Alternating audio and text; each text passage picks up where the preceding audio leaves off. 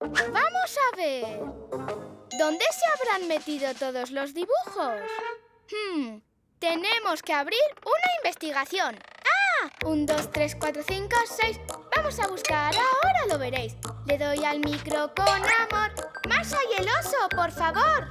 A que es fácil encontrar los dibujos y ahora